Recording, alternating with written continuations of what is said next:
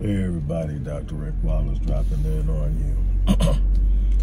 uh, Wednesday evening, leaving the office, uh, headed home. Uh, did a little cardio. Gym is actually closed for the second day.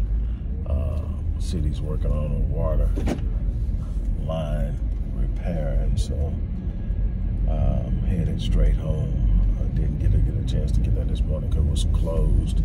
Uh, but anyway, I hope everybody has had a good start to that week. We've just hit the midway point moving into uh, the home stretch tomorrow. Hopefully everything is going on schedule. If not, that's okay. Keep pushing. That's part of the that's part of the equation. That's part of life. That's part of the game. It's not always going to flow the way you want it to, but stay strong. Keep your focus. Keep looking forward.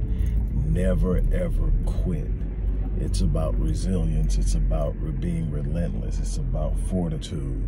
Uh, as much as it is about brilliance, as much as it is about planning, as much as it is about resourcing and marketing and all of the other things, uh, depending on what it is you're going after, it's about simply staying in the game and finishing, going the distance. All right, on that note, I'm out. Uh, on to the next thing. Look, uh, I don't plan on taking too long because I want to be done with this long before I get home because I may want to stop and do something. But um, don't forget support the work we do at the Odyssey Project. As you know, uh, the information to support what we do is in the description box. Those of you who have followed for a long time, you know what we do. Those who may be new, click the link and go check it out. Um, but definitely show some love, show some support with what we're doing. Um, we're going to become a lot more uh, pro progressive and uh, connected in this fundraiser over the next couple of weeks. But I just uh, am keeping the word with my people that I'm going to continue to mention it. Uh, so that's that. Now, uh, I live in Houston, a lot pops off in Houston, good and bad. Uh, we've got our share of horror stories and our share of triumphant uh, narratives. Uh, we are now dealing with another horror story. Uh, and with me, it doesn't get any horrible than the abuse, neglect, and harm and killing of children. Uh, by now, you've probably seen on the news where uh, two adults, the mother of a child and her boyfriend, left four kids uh, in a home without supervision for over a year. One of the kids was deceased and his decaying body stayed in the house with those kids. They were never checked into school after May 20th. Uh, so for all intents and purposes, what neighbors are saying is that they saw one of the younger kids every now and then. They would come out and ask for food. Uh, but the oldest kid was 15. Uh, that was in the house. There was an older daughter who was 17, who wasn't in the house. Haven't been able to get any bearing on what's going on with her. Um, but the initial discovery happened a couple of days ago when the 15 year old called and reported that they were there and they needed help. And they showed up and found this horrific scene. Uh, the skeletal remains of an eight year old kid, uh, a nine year old, a seven year old, and a 15 year old in the house. Those kids have since been taken into custody by CPS. Um, the parents were initially well, the mother and the boyfriend were initially brought in and questioned and released, and no one could understood understand how they were released with being a body. But they were initially released pending the autopsy. The autopsy proved that the child died from multiple blunt force trauma uh, and declared it a homicide. At that point, uh, arrest warrants were issued for both individuals. The mother has been charged with injury to a child by omission, and the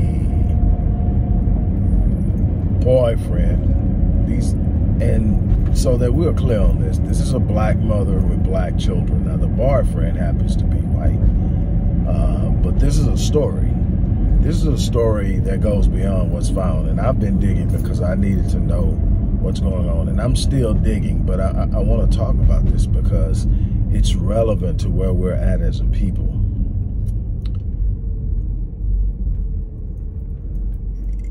If you were to look at this place where these kids were, you would never think, okay, rough neighborhood, rough place, seems very clean, very manicured um, apartment complex. Uh, the tenants that I did see that lived there seemed to be working class people. Uh, it wasn't anywhere close to what you would consider projects or uh, somewhere planted in the hood. So what amazes me is there was this scent and there was a woman, uh, several people said that there was a scent coming from the apartment. That Some of them said they even reported it, but nothing was ever done about it. Um, anybody who's ever smelt a decaying human body knows the distinct smell and just how horrible that smell is. Um, the idea that people lived with that until it subsided uh, is nothing short of ridiculous. I don't want to use the word amazing because I'm not amazed by it. I'm actually appalled. Uh, at that time, it wasn't anything they were going to do to save that child. That child was already dead. But you're looking at a year, and bodies start to decay within a day or so. The decaying process starts. By three or four days, you start to smell it. And so, anywhere within that first three to four weeks, those kids could have been out of that condition. But nobody, there's no follow through. Uh, today, the grandmother of one of the of one of the kids. Um, I think the youngest kid uh, came forth and said if she would have known what was going on, she would have took all of them. Um, her son is the father of the youngest, the seven-year-old. Her son is in and out of jail and never really been a part of the child's life. And from her uh, telling of the story, there's been one guy after another. Matter of fact, that was a point in time, some six, five, six years ago, that uh, maybe somewhere up in there that she, that this mother of these kids came to live with her. And this is not her daughter. This is her son's ex-girlfriend and mother of her son's child. All right, but she lets her come stay there. But what she found out is when she would leave to go to work, and this is a 71-year-old woman, when she would leave to go to work, this woman was bringing different men over. She said she could never know what was going on with these men, but she didn't feel that was appropriate. So she asked her to leave. Now she's got a guilt complex because she asked her to leave and this happened to the kid. Um, and a friend of I, of mine and I were discussing the importance of tribe, the importance of village, the importance of community, and the importance of understanding. There was a lot going on here uh, how do you abandon your children to live by themselves in an apartment? You know, I'm assuming, even though it doesn't look like housing, I'm assuming it had to be housing because obviously they weren't evicted, so the rent was being paid. Uh, but how do you abandon them to fend for themselves? Uh, only one teenager, and at the time you abandoned them, that teenager was 14. The others were uh, what, eight, you know, well, eight, seven, and six. The, the seven-year-old, uh, well, the eight-year-old is the one that, uh, well, I'm sure he was probably seven when he died. So, uh, the deceased kid uh, was uh, seven years old, and you left these kids to fend for themselves. Um, obviously, to me, there's something wrong there. That that's beyond darkness. To me, that's beyond evil. Evil. Sometimes you're looking for explanations, especially when you're in the field that I'm in. You know what the mind can do when it's not right. Um, and there are some things that says there's something not right. Uh, haven't gotten close, haven't been able to see them actually, uh, the, the two people responsible. I haven't been able to see anything but pictures and a couple of, um, you know, still shots of them being in different places after the arrest. But something's not right. Um, but to what extent, obviously, I don't know. Uh, just speculating based off of what I see and something not being right. Um, but the grandmother said that, you know, was something, you know, that they disappeared for like five years. And then out of the blue, she called and asked her, did she want to see her grandson? She went to see him. And she said that there was a feeling in her at the time that she would have asked to adopt that baby, that his mother would have allowed it. And so she's feeling guilty about that too. And that's a lot of people taking shots at grandma. You know, grandma's 71 years old. And you caught in this real crazy space of having lived your life, having gone hard in the paint to do what you can for yours. And you're trying to get to that point now to where you can relax. And now you're looking at all of this in front of you and you've got to make a decision. Do I want to spend my twilight years raising kids and dealing with all this? And so you can say what you want to say, but as a parent who has grandchildren now that are in their teens, and you know, the thought of having to turn around and rear them while still trying to close the deal on the younger kids that we have, it's daunting. It's daunting with resources. It's two of us in the house, uh, so we have we have we have you know double the time of what a lot of people have tr trying to do this because it was just grandma, and so I'm not casting judgment on her. You know, you know, I'm wondering, you know, what are you thinking when you don't hear from them for five years? But then people fall out. That's the part I'm talking about with the village. Because it's not uncommon to fall out with someone and not talk to them for years. It's not uncommon to sit up and not see, you know, and, and, you know, some of us know what it's like to have your kids get mad at you. And then that means you don't get to see grandbabies.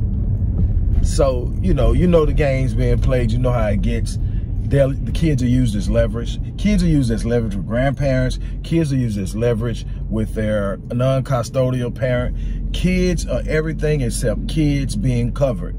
And that's the problem. Look at what's going on in our communities. This is what, I mean, we just had little Malika uh, a couple of years ago that the whole world fell in love with. And it turns out that looks like either her mom or her stepfather killed her. The people that are entrusted with the safety of the kid. It's bad enough when there's an external evil that comes into your paradise and shakes it up. It's bad enough when you get a phone call and they say, we found your daughter, but she's deceased. Or we found your son, but he's deceased. We found your son and it looks like he was a victim of violence. Or we, we you know, we, it's bad enough when it's that. When, when somebody robs you of something that precious, it's bad but it's absolutely horrible when the ones that are supposed to be protecting the kids are the ones that are the greatest threat. Now, what is also interesting is that CPS says that this family has a history with them. At the time that all this transpired, there were no open cases, obviously because a simple uh, home visit would have uncovered everything and we wouldn't be here. But whatever happened in the situation with CPS, CPS was somehow satisfied that the kids were safe.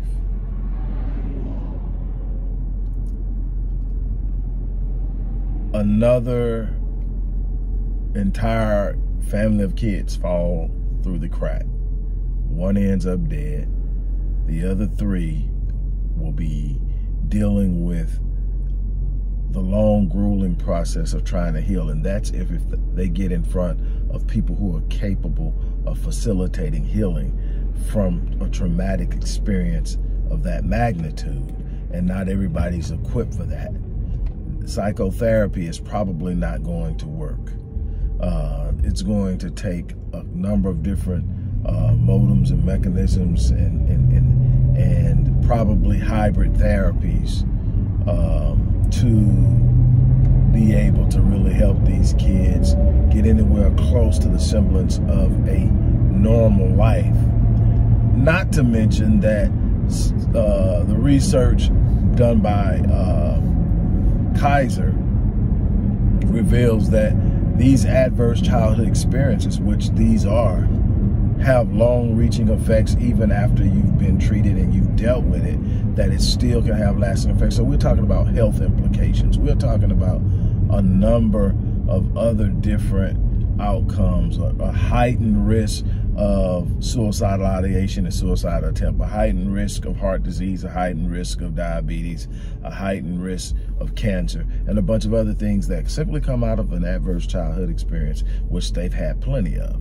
And then you got trying to live a normal life, trying to be mentally balanced, trying to find your center in yourself after a situation like that, trying to develop the capacity to simply trust.